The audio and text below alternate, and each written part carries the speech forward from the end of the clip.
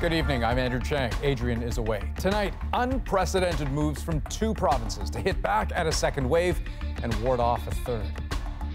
People are just afraid to go out. A surge in cases forces Newfoundland and Labrador to put an election on hold for half the province. It just was not feasible. March break has been delayed in Ontario, but is the benefit worth it? The kids are exhausted. I'm exhausted. All of us are exhausted. And for what? Police cracking down on another pandemic side effect. Here we go, they're setting up. And There they go. Marketplace takes us inside the fight against street racing and stunt driving. And a Canadian artist makes his debut on an iconic children's program. I mean, Sesame Street was is such a cultural staple. This is The National. Well, there are two major concerns in Newfoundland and Labrador tonight. COVID cases are spiking in an unprecedented outbreak, but also it's happening just two days before their provincial election. So now fear of the former is delaying the latter, and the election is being partially postponed. It is evident that COVID has been circulating undetected in our province for some time. So here's the data just for this week alone. You can see it's not looking good. The numbers going in a pretty clear direction. Yesterday was already a record with 53 new confirmed cases, but today, double it, 100 new cases. That surge has created all kinds of election problems, workers resigning in fear and voters afraid as well. So today, that remarkable move, delaying the election for half the province. Chris O'Neill Yates has the decision and the reaction. Weather was always a concern in this February election, but it's a COVID 19 outbreak that is now wreaking havoc, and that proved too much for election workers. It's very scary. And people are, uh, you know, people are just afraid to go out. Many election workers have resigned out of fear. We have gone from having a full slate of election workers for Saturday down to less than 50%. Today, Chief Electoral Officer Bruce Chaulk made the call to postpone in person voting on the Avalon Peninsula for two weeks. That's 18 of the province's 40 districts. Given the number of people that uh, determined that they wouldn't be able to work, uh, it just was not feasible to run the election in this particular area. Voters outside those districts can still head to the polls Saturday, and everyone will be able to vote by mail. The election scramble is underway as health officials go on the hunt for the virus. Testing is happening on a scale this province has never seen. Through our testing, we are seeing many positive cases who are asymptomatic or who have only mild symptoms. The surge in cases is linked to high school students and sports activities in the Eastern Health Region, and the chief medical officer is concerned it's spreading undetected. If COVID was able to circulate within the metro region without detection, I have concerns that it could very well be happening outside of the St. John's metro area. PC leader Ches Crosby questions why in person voting can be allowed anywhere in the province. This is uh, an unprecedented, uh, unbelievable situation. He also says a provincial economic recovery report is expected soon, which could affect voters' choices. Liberal leader Andrew Furey called the election but says he isn't responsible for this confusion. But I don't think anyone could have predicted uh, this particular scenario. An unprecedented decision with unpredictable consequences. Chris O'Neill Yates, CBC News, St. John's. Okay, so just how unusual is the decision to postpone the election for essentially half the province? For that, we turn to Chief Political Correspondent Rosie Barton. Yeah, Andrew, I mean, this is definitely uncharted territory in terms of elections, whether it be in Newfoundland or across the country. Elections Canada says uh, it has not happened in the case of federal elections in their 100 year existence. No one can really point to it in terms of it happening provincially either, at least not on this kind of scale and not in modern history. There is an ability for this to happen federally as well. I feel like it's important to mention that because there's been a lot of talk about the possibility of an election, and the chief electoral officer can, under the Elections Canada Act, Act. He can ask for writs to be withdrawn, for an election in a particular district to be delayed. Uh, they would cite issues like natural disasters, flooding, fires, that kind of thing. But but it hasn't been done. Um, so the ability to call off an election in part of the country and not the rest is certainly there. Uh, the chief electoral officer, actually in front of a committee, has pointed to these very issues we're seeing in Newfoundland as part of his concerns. It's not COVID per se. It's the fact that poll workers don't show up because they're worried. It's the fact that there are outbreaks at polling stations. Worth noting, though, that there are three other provinces that have successfully held elections during the pandemic BC, Saskatchewan, and New Brunswick. So, in right. many ways, Newfoundland and Labrador just got really unlucky here. Okay. Uh, we'll see you soon for At Issue. Thanks. Yeah, that's right. We'll talk about that too. And Ontario students and teachers learned today that their March break is being pushed back by a month. As Katie Nicholson explains, the hope is that will help prevent another spike in cases.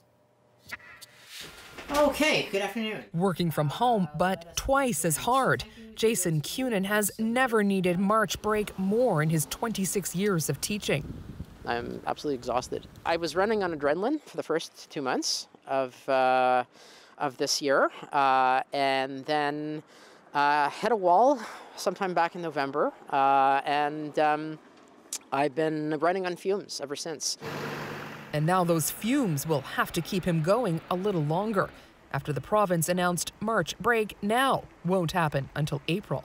I recognize that this is one more change in a year that has been challenging for so many students and our education staff who continue to work so hard. But it is one made on the best advice of public health officials. Postponing the break could prevent travel for people and the coronavirus. Yeah, what that And there's another benefit. It gives us a little bit more time, first of all, to get folks vaccinated, especially those that are high risk. And it allows us to um, ramp up the testing strategies for, especially for the new variants that we're seeing. That may be good for physical health, but teachers are worried about mental health too. I'm infuriated. I'm absolutely infuriated by this. Um, and it's, again, it's not even just for me. The kids are exhausted. I'm exhausted. All of us are exhausted. Teachers' unions say it's not like its members or even students were going to travel this year. They just need a staycation pronto. The Elementary Teachers Federation of Ontario has been inundated with complaints of burnout and frustration. I would say to the Minister uh, of Education uh, go into a classroom, do what our members are doing uh, for an, another month beyond uh, the, the, the, schedule where the March break was scheduled. Um, they are hanging on now as it is. Okay, and Katie, this does come at a time when doctors are increasingly worried about variants and a potential third wave. Yeah, the new modeling out today suggests that there is a threat from that variant that was first identified in the UK, which we know to be more contagious. And preliminary data suggests it is more lethal. And, you know, there are fears that that variant could force numbers to soar here in this province, particularly because we are seeing a relaxing of, of some of the restrictions in some areas. And to get a sense of how dire that could be, here's a little exchange from the briefing today. Am I missing something here, or is this presentation actually predicting a disaster? No, I, don't think you're missing anything. Uh, the cases will likely rise given the variants of concern. Uh, the need to keep that R down is really, really critical. Now, that R refers to the virus's reproduction rate, which, of course, has never been as low as officials have wanted. So, what's the answer? Aggressive vaccination and sticking to all of the public health measures we've been following since the beginning of this pandemic. Andrew? All right. Thanks, Katie. Now, speaking of vaccines, Manitoba is now the first province to place its own order for COVID vaccine doses instead of relying on the federal government to do it. The timing is worth noting. The announcement came just before today's update on Canada's vaccine rollout. Only a little over a million, 1.15 doses, have been administered so far. This means that 2.4% of Canadians have received at least one dose of vaccine, and 0.5% have received two doses. Canada's performance does lag behind about three dozen other countries, but Manitoba's deal will not affect its supply anytime soon. Cameron McIntosh shows us why timing is everything. We were working on a COVID 19 vaccine. It's not approved yet. Only halfway through its first clinical trial, it's not even on the government's list of leading vaccine candidates. Still, Manitoba's premier is betting on it. This is insurance. And it's important to have insurance, especially. Brian Pallister, openly frustrated with the pace of federal vaccine rollout, committing to buy 2 million doses of an unproven Canadian vaccine. I want Manitobans to get vaccines, and I'd rather they got them sooner rather than later.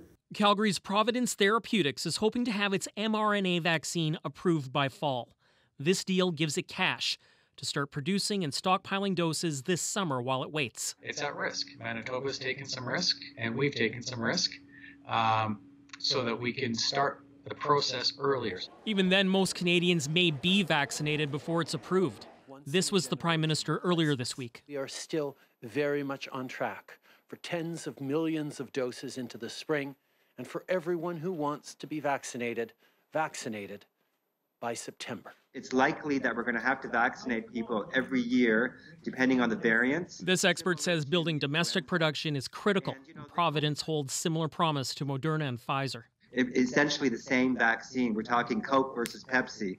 Providence, which says it can pre produce 50 million doses, is openly courting the provinces. It's not off the table for Saskatchewan as well. We need to do our, uh, our homework, make sure it's technically feasible. Look, if the feds deliver all the vaccines that they say they're going to deliver, then this is important for future pandemic responses.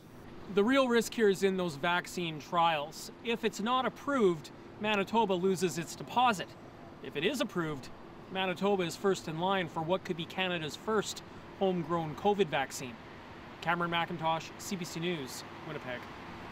Now, in the United States, President Joe Biden says his administration has now purchased enough vaccine for every American.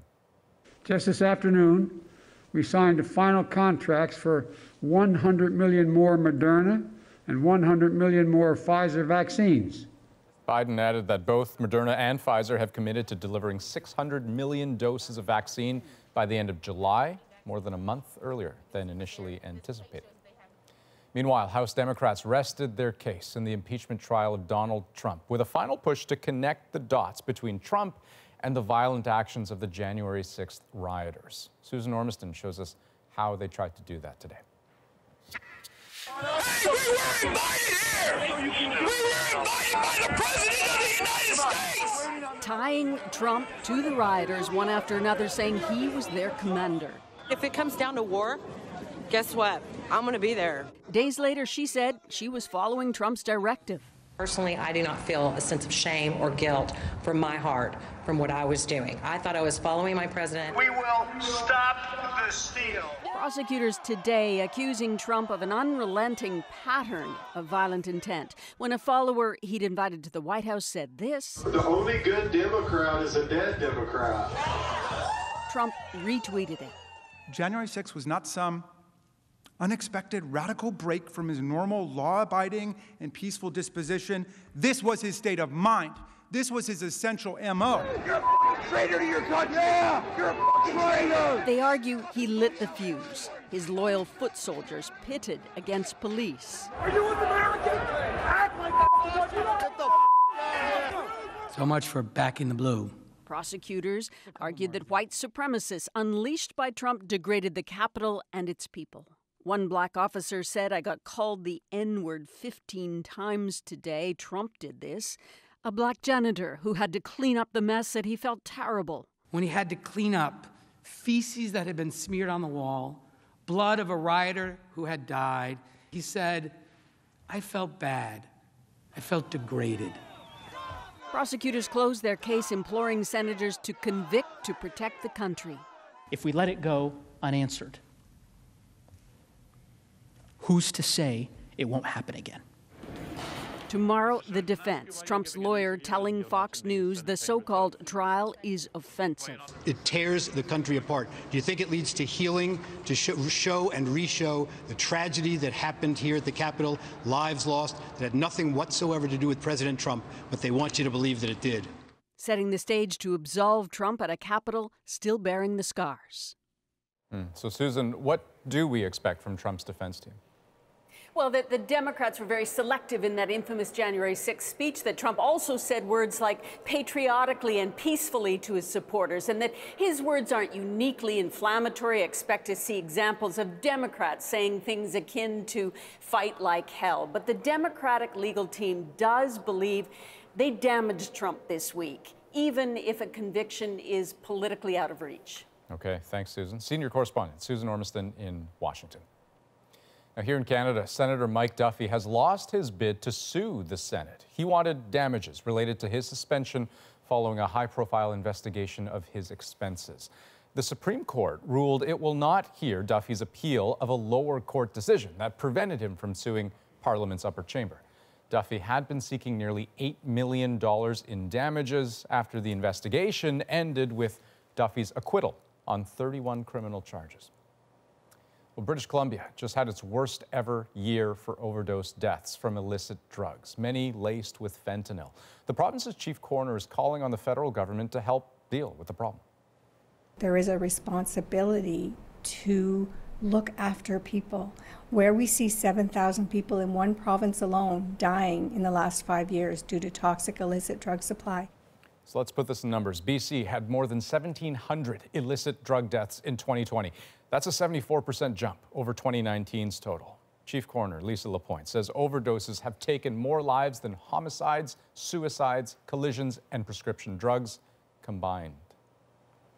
Now, while Vancouver, Surrey, and Victoria were the worst hit, other parts of BC are struggling too, like the coastal community of Sechelt. Briar Stewart shows us how. Hey guys, do you need anything? As an outreach worker, Hawkfeather Peterson's car is packed with harm reduction supplies. Okay, can you jam it in your hoodie? Yes, I can. Okay. I overdosed last week. You did? And it took them 60 minutes to revive me.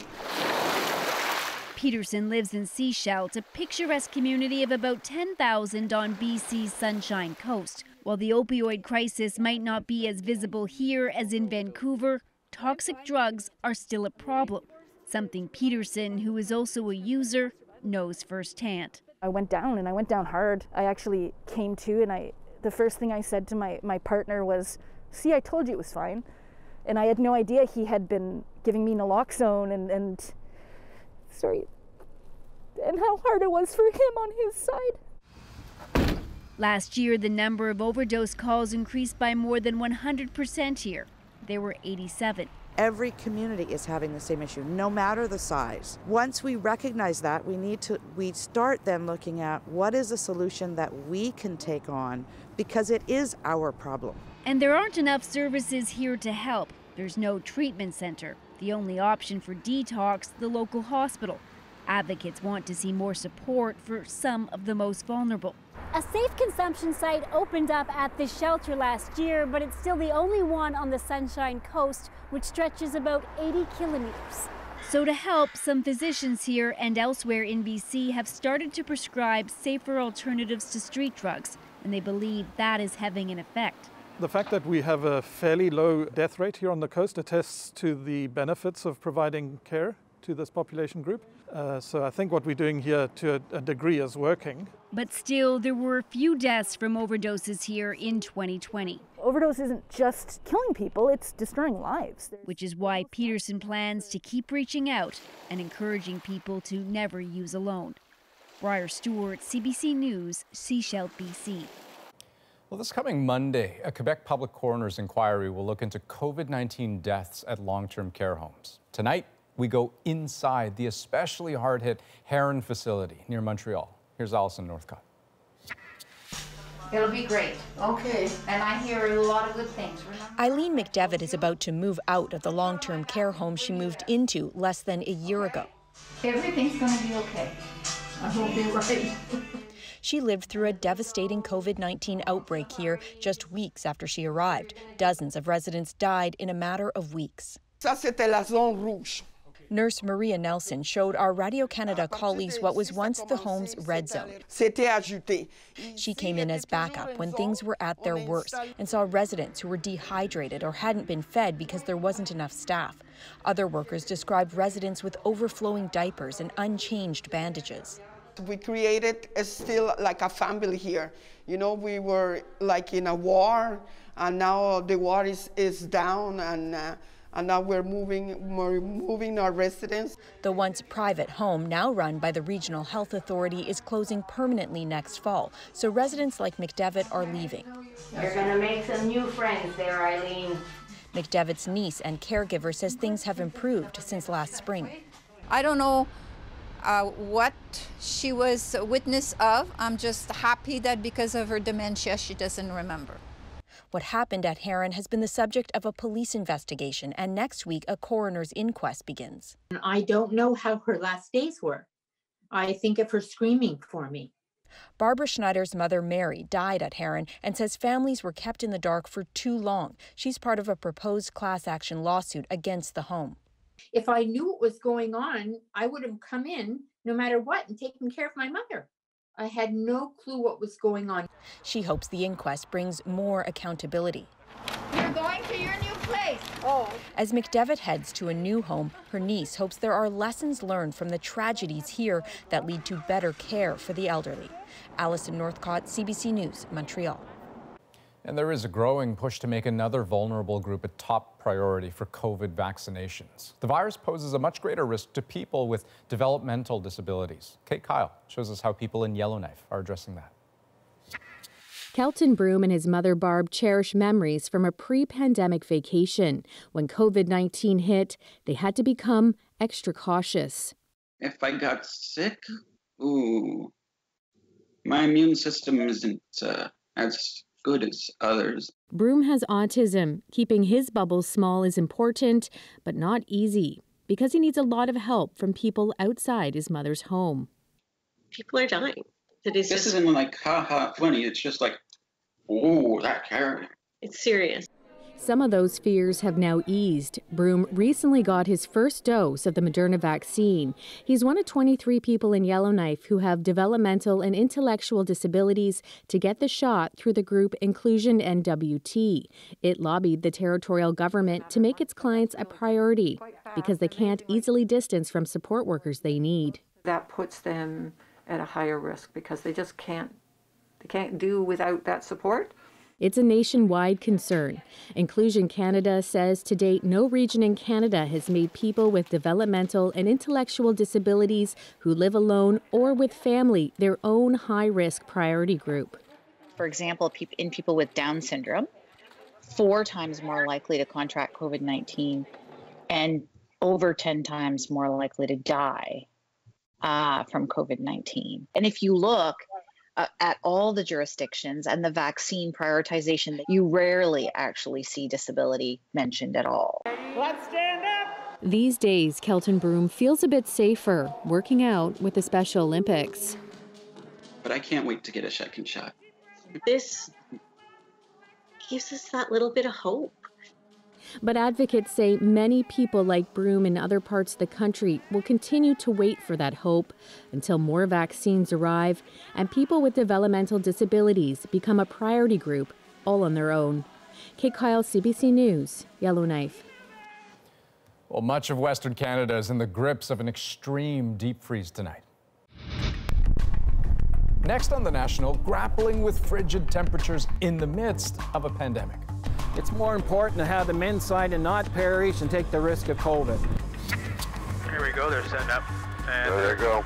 Police tell Marketplace dangerous driving is on the rise. But what happens after the drivers are arrested? And bringing a new voice to an iconic children's TV show. It's such a pleasure to be on the same stage as uh, Big Bird and Elmo why Sesame Street came calling this Canadian. We're back in two.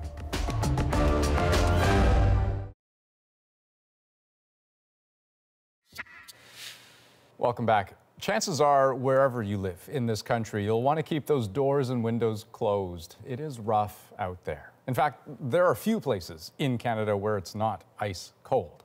Some 10 million square kilometers plunged below zero at the same time this week. Extreme cold weather alerts are in place from central Canada all the way to the west coast, and this could last for days, including in regions unaccustomed and unequipped to dealing with such brutal conditions. Tanya Fletcher looks at the multiple dangers for British Columbia tonight. That sound is responsible for the coldest air Metro Vancouver has felt in more than a decade. The icy winds outside sparking a flurry of activity inside this homeless shelter in Chilliwack. Female's jacket? It's here the needs are most acute, enough to put pandemic protocols on the back burner. We're only supposed to have 12 in our emergency shelter. We've had up to 24 so far. So the way we look at it, it's more important to have them inside and not perish and take the risk of COVID. 10 minutes down the road, the cold weather implications are felt in the fields too. It's entirely possible that we could lose this arugula. On this family farm, it's a scramble to pull these tarps turned blankets over the vegetables on the chilliest morning of the year. As the forecast plummeted this week, they quickly harvested as many carrots, beets, and potatoes as possible. Is it frozen? The problem now, it's so cold the veggies will freeze if they're washed, and they're due to hit the local farmers markets this weekend. Yeah, suck it up. I mean, it's it is what it is. In a coastal region not well equipped to handle blistering cold, a wind chill of minus 25 is a big deal. It's rare for us to get in the right setup for this kind of extreme cold. We need winds to race through the valleys, carrying that cold air from the interior. These are some of our uh, Cabernet Sauvignon vines. Here. At Quails' Gate in Kelowna, ice wine is key to their business. It has to dip to a certain temperature to be able to harvest, but it's now so cold the vines themselves are threatened. We have stopped pruning, and the reason for that is if it does get into that danger zone, which is really kind of in that around minus 20, uh, we start to see that there's a possibility that the buds could be damaged. And it's not over yet. A new storm is brewing off the Pacific, taking direct aim here on the south coast. It's even expected to bring record amounts of snowfall to Victoria this weekend. Tanya Fletcher, CBC News, Vancouver. And ahead tonight, fighting a rise in dangerous driving. Look at. Oh, he's flying. We are not pursuing. You're going to want to see this. Marketplace gets a front row seat to a growing pandemic problem. But first, Rosie's here with At Issue. Hey, Andrew. Tonight we are going to talk about Erin O'Toole's leadership. I'm Erin O'Toole. If you don't know me, I'm the leader of Canada's Conservatives. Six months in, is his message reaching Canadians? Plus, should Newfoundland and Labrador's delayed election be a pandemic wake up call for the idea of a federal election? We'll get to all of that with Chantal, Andrew, and Althea.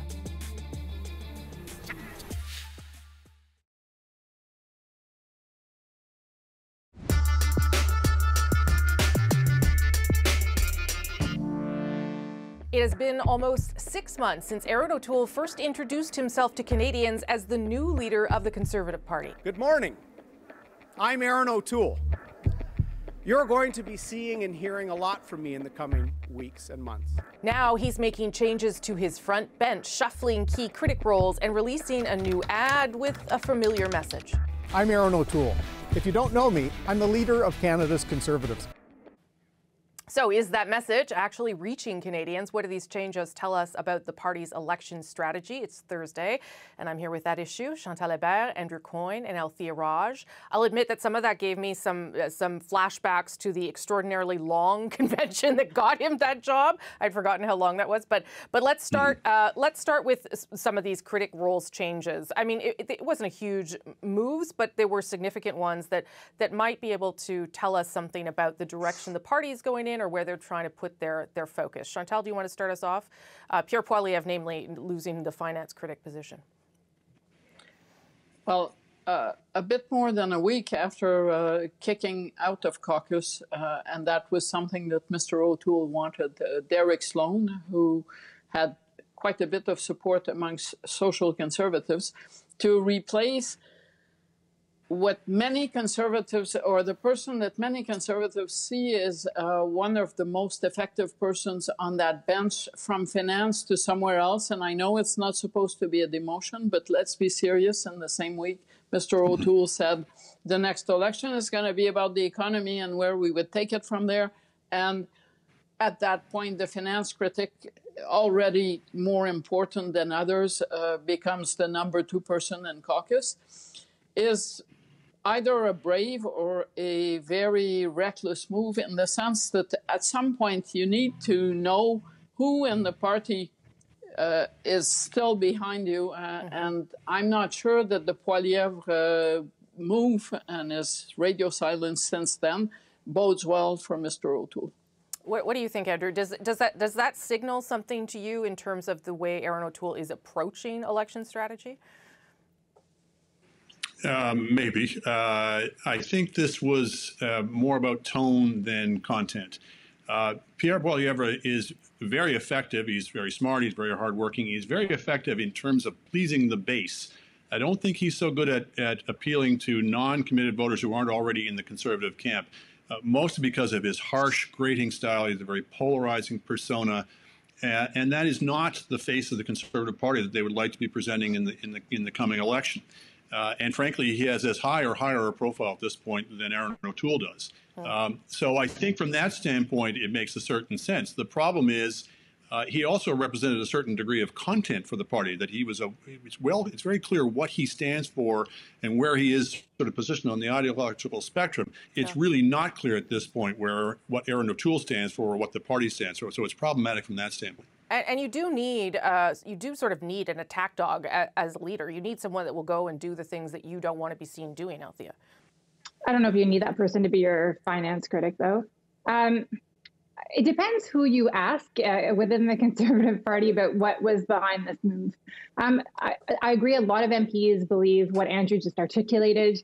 That basically Pierre Poilievre speaks to uh, a very partisan base that wants to stick it to Justin Trudeau and that that is not the message that they're hoping uh, to appeal to women voters with, for example. And in comes Ed Fast, who's somebody from British Columbia, where the Conservatives want to win more seats, uh, who looks like your grandfather and is a very nice person. and maybe that will be more attractive to female voters in Ontario. Um, but at the same time, if you're going to take Pierre Poilievre out of the finance position, why are you leaving another attack dog, Michelle Rempel Garner, in the health portfolio?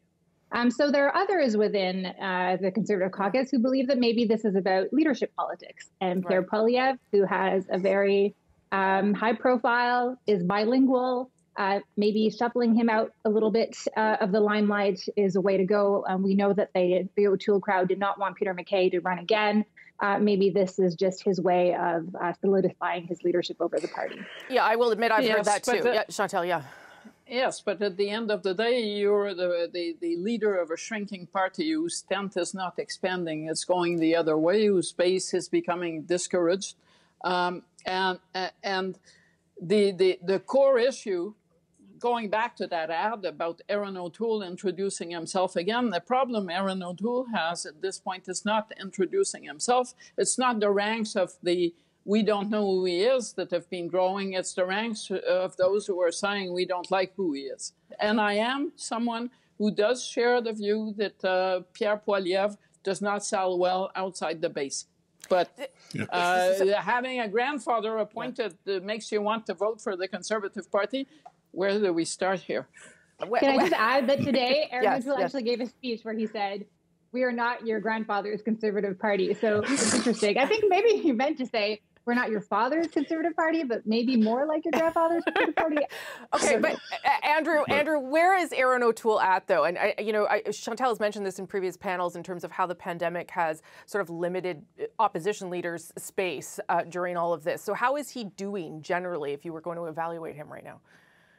Uh, he's all over the map. Look, it, it would be it's always a tough job being opposition leader. It's hard getting you know airtime. It's hard getting focus. It's particularly hard in the middle of a pandemic. But he his message has been so uh, confusing and multifaceted. Uh, one day he is talking about how the conservatives are a mainstream, moderate, pragmatic party. The next day he's railing, almost sounding like Donald Trump, against financial elites who have betrayed the country and talking about a Canada First agenda. The next day he sounds almost like a New Democrat. He's talking about you know how he wants to co- cozy up to unions, et cetera. Uh, he's got to pick a lane. He's got to figure out what his message is going to be uh, and communicate that. And I don't think it has to be that complicated. Mm-hmm. Uh, you know, he's not done well, but they're not in terrible shape. They're one point behind the Liberals in the last mm-hmm. poll. So a, a sensible, moderate, pragmatic, conservative party, center right party, uh, is absolutely poised to take advantage of that. And, and that actually fits naturally with O'Toole's, I think, real persona. Hmm. He just doesn't seem to be aware of that himself. Okay, quick, quickly, uh, Althea and, and Chantal on that. Then I want to do a quick round on Newfoundland. So, so quickly. I think one of the problems is we don't actually know who Erin O'Toole is. You know, if he is he's not presenting the Erin O'Toole that he presented uh, a year ago when he ran for the Conservative leadership. Um, so I think it raises questions about um, hypocrisy and ethics. You know, he can't, he he didn't want Derek Sloan to be removed from caucus a year ago, and if it wasn't for Derek Sloan, he actually would not be leader of the Conservative Party. That introducing ad, frankly, should have been done last fall or even in late August after he had won uh, the leadership of the party, and the message seems completely tone deaf. I mean, people are worried about their parents and grandparents dying of COVID. They're worried about their kids getting sick at school, and he wants to get the economy back on track. We're not there yet. Okay, quickly, Chantal. If I can just say that uh, six months to a federal election, I think uh, panels like this one, including this one, probably buried the leader of the official opposition who then became prime minister, just for context. Yeah, it's good context. Okay, quick go around on what's happening in Newfoundland and Labrador. Definitely unprecedented. What does it tell us about the likelihood of an election federally or the dangers, I guess, of, of taking this risk, even when you think you've got it all under control, Andrew? Well, I mean, there's two types of risk. There's the pandemic risk, and they're properly taking, pay, paying full attention to that. Although I think this idea of only holding the election on election day in some of the ridings and not in the others is a bit cockamamie. But I think the more operative risk is where you're at in the polls. The Liberals are ahead by 28 points in the last poll I saw in Newfoundland. Uh, I think that's going to govern Justin Trudeau's calculations much more than the state of the pandemic is. Where is he at in the polls? Althea. Um, I think that the potential that you would have an election that gets completely that goes completely off the rails nationally um, would be too big a price, I think, for the federal Liberals to pay. Um, I think in Newfoundland and Labrador, I mean, it's unfortunate you never want these things to happen, but it's not unheard of that we vote on different day. I mean, we we vote in advance polls on sometimes weeks apart from E Day. Uh, what is concerning is that there is no end point. So I think that should probably be announced soon because you can't have people believing that there is some polit- political calculation going Yes, on yes. with the date of the election. Chantal, last word. Uh, running an election campaign is driving a narrative that uh, gets you hopefully to victory. Uh, and the worst thing that can happen to that narrative is a sudden pause, an open ended pause. I think it uh, probably, beyond the 28 points lead for the Liberals in Newfoundland and Labrador, it should give federal Liberal strategists, those who are in the um, Hawks, uh, let's go in the spring uh, election camp, food for thought. Okay, we'll leave it there. I, I just enjoy that Andrew said cockamamie, and I'm just going to enjoy that all night long. Thank you all very much. Before we go, be sure to subscribe to At Issue, the podcast. We've got extra content, including the panel's take on this story this week. I will be seeking the nomination for the Green Party to represent it in the next federal election here in Toronto Centre. That's Annamie Paul, and we'll talk about that strategy on any major podcast app and on our website, cbcnews.ca slash the national. Okay, Rosie, and looking ahead to this Sunday, what can we expect on Rosemary Barton Live?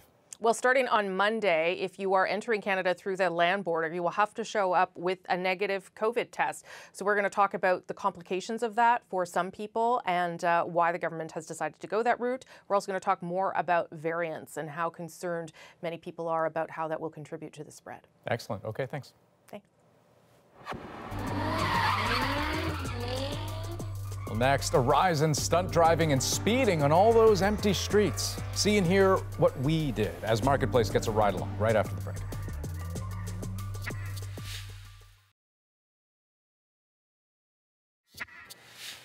COVID has changed a lot in our lives, including on the roads. The CBC Marketplace checked in with police forces across the country who say in some places, speeding and stunt driving is surging. And as David Common shows us, the consequences can be deadly. York Regional Police are on the prowl, Here we go. They're setting up. And There they go. hovering high over our roads, and during COVID, there's been a sharp rise in stunt driving charges here. In many Canadian cities, police tell us they've seen a huge surge in risky behavior. There too. Uh, they know we're here. They're all starting to scatter.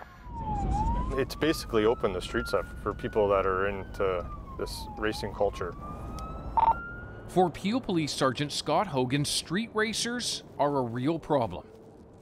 No stopping at all. These two guys here. And when cops move in to shut it down, Look at, he's trying to get away. Look at. Oh, he's flying. We are not pursuing. But it's not just stunt driving. Speeding is also up in York Region. So, what happens to risky and careless drivers, especially those who injure and kill? Most people would be surprised. They walk away with a small fine. Patrick Brown has represented car crash victims for 20 years, including the family of a mom of three kids, killed walking her dog. And the driver? She got a $1,000 fine. This is in front of a public school. Another crash, killing a little girl. A $1,000 fine and a six month prohibition on driving. The message we send out is hey, if you want to kill someone with your car, don't worry, not much is going to happen. Brown is now calling for tougher consequences, perhaps even forcing drivers who kill or injure to retrain and prove they can be trusted. David Common, CBC News, Markham, Ontario. And you can watch more of the Marketplace investigation into risky driving and the call for more consequences Friday at 8 on CBC television, or you can stream it on CBC Gem. Okay, next, a $1.5 million experiment that hopes to flip the odds working against black high school students. If someone has been told that they don't belong for so long, we're now coming in and saying, no, you do belong, you can do better. And the work's already begun. We'll show you how it's going.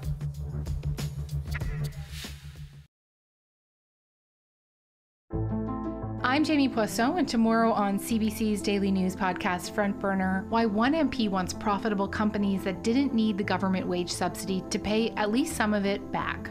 Subscribe wherever you get your podcasts. Black students can face real roadblocks when it comes to school. Studies have shown they have lower graduation rates, for example. But Natalie Kalata takes us up close to a pilot project in Ontario designed to change that. The teacher asked her, What are you doing in this classroom? Right? To say that you don't belong in an enriched classroom. And these are the conversations that we're having daily with Black students. Keisha Evans works at two Toronto high schools with Black students from grade 9 through 12 and beyond as what's being called a graduation coach. It's not just, hey, we're going to get you to graduation, but successfully get you to graduation with more confidence, feeling more empowered to take on the challenges that the world is coming at you with. A 2017 York University study said black high school students in Toronto drop out at higher rates and are less likely to apply for post secondary education. Black students continue to be disengaged, not, not really uh, graduating in the high numbers as their peers. And therefore, I think it's an attempt to address that problem. The Ontario government provided more than $1.5 million in funding for the project, which started early last year. Evans says she's already seeing change in the students she's mentoring. You'd be surprised at how many students reached out and said, I need the support. I'm, I'm so happy that you're here. For grade 12 student Sophia Liendo, the program has helped turn her dream of becoming a pediatric surgeon into a plan.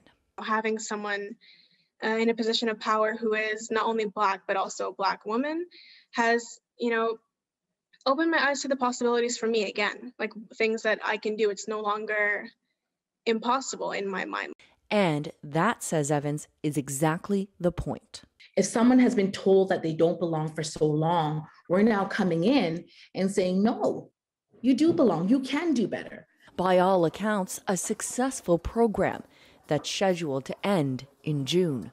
Natalie Kalata, CBC News, Toronto.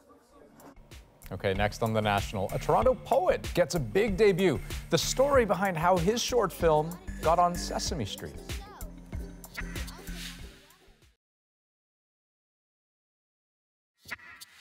The letter C. C is for counting. Well, this short film released today on the iconic kids show Sesame Street. The creator behind the film is Toronto-based poet Ian Keteku.